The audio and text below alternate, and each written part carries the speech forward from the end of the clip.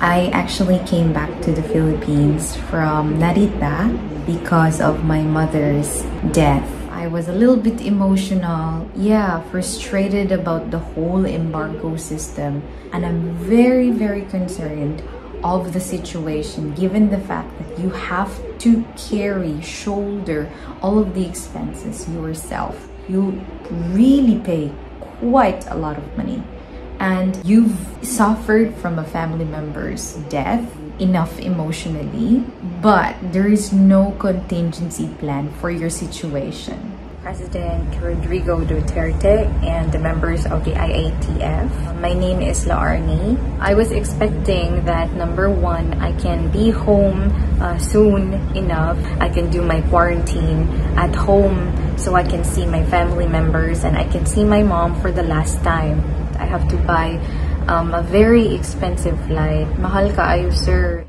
Ako usa ka dependent sa usa ka OFW. Mr. President, muhangyo po. Usa ako sa apektado sa 10 days quarantine sa Manila tungod sa diversion of flight. Manghangyo minimo sa imuhang uh, lumunga kasing-kasing nga unta i-lift na nimo ni aron makabiyahe mi diretso sa Cebu. Wala mi igong sa lapi kay di mobayad man ko sa ako ang hotel.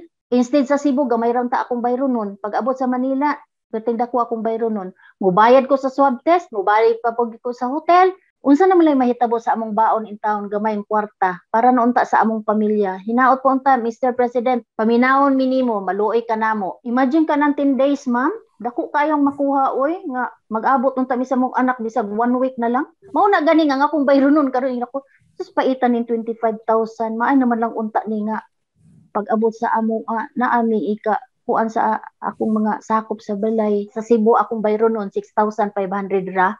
Direct flight to Cebu unta pero wala naman ko laing choice. Tas lisod kay ang pag-book sa ticket kay kargado jud cancel flight ang mga OFW. Kung na jud gasto, mo di sila kumuuli kung naay gasto ang quarantine. Mas maayon ta kung paupaubsan nila ang quarantine days. Tas taas ram gud ang quarantine dito, lisod kaayo para namo ba. Sa barko pa lang, doon na namin gi-process nga to for swab testing. Then gi kuan mi og hotel, eh, quarantine yung na ba. Pero parang ako sobra ra kayo ng 10 days eh. Kung mahimo bisag 5 days, 3 to 5 days, okay naman gani na. Basta maay lang gid ang imong lawas. Nga dapat unta pa paubos-ubusan ba. Kay dito lang nag-quarantine na biya mi sa barko pa lang. Kung mas maayo gid og dunay direct sa Cebu, mas maayo yung direct to Cebu. Kaysa ma diktin pa mi sa Manila. Digi kag kuan Mexico, ag pag connecting flight Japan then Manila. Kan pag Mexico i quarantine mi May 12 ko nina og nya naabot kog Manila May 18 then quarantine na pod 10 days. Larga din ko dire Ah, oh, inaot lang po ko nga kuan, medyo maubos-ubos lang gamay among pag quarantine kay di mo pud lali mo na amis. Untay ni uli na mo, maliser mong quarantine period ba.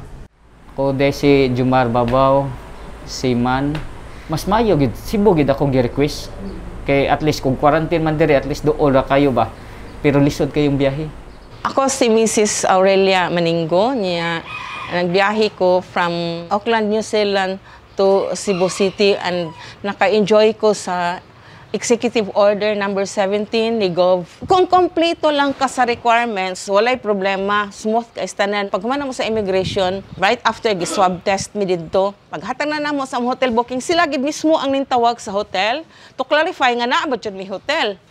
Nya pagka April 13, nag-email na gawas na amo result nga negative nya praise God kay Mr. Ano negative. Dali ara oy inana niya. The more pagid nga we are very thankful is free ang among swab test di ay which I'm very thankful ni Gov nga nakalibre in mi. What if ung nakabayad pa mi sa 4,000 wala mangga mi dalang pasalubong kay aron dili ko malikayan sa mga tao kami ngon na naabot na sila na. So isolated myself dito sa akong adopted son